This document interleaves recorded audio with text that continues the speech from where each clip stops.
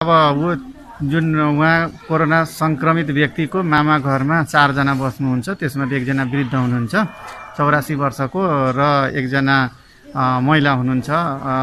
हामी दुईजनाको दुईवटा किट मात्रै भएको हुनाले दुईजनालाई परीक्षण गर्न अहिले भ्यायौँ र दुईजनैको रिपोर्ट नेगेटिभ आएछ।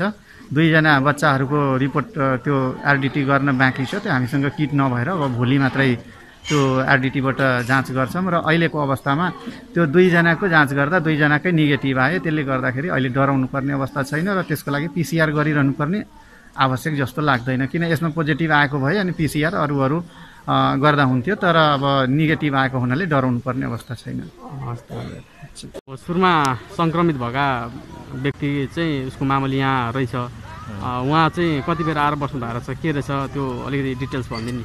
यहाँ चाहिँ अहिले जुन हिजो भोजपुरमा चाहिँ पोजिटिभ देखियो भन्ने चाहिँ एकजना महानुभाव हुन्थ्यो उहाँको चाहिँ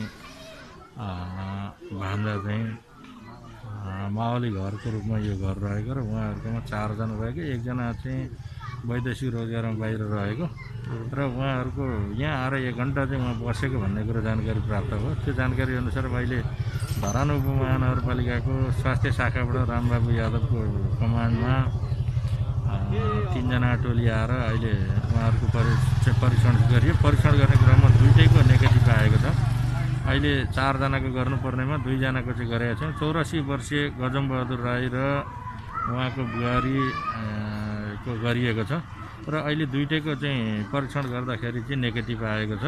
र त्यस्तो अहिले जुन खालको हिसाबले चाहिँ यहाँ हल्ला भएको छ त्यो अनुसारको होइन अहिले नर्मली हिसाबमा चाहिँ रहेको भन्ने चाहिँ स्वास्थ्य शाखाबाट प्राप्त भएको छ।